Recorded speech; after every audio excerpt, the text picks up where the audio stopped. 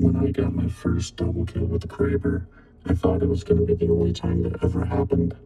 But since then, I've actually gotten a couple of them. Where the heck did this guy go? Oh, curses.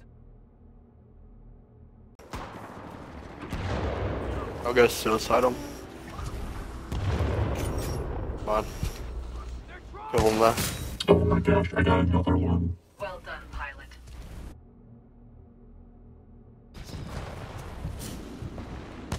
Where you are, They're spawning back here by me. Yeah. Oh, fracking curses. I got arc grenade. Stupid. They got a sonar. I got another double kill with Bleh. Machado. Well done, pilot. I also have a double kill from Halo, just as honorable mention.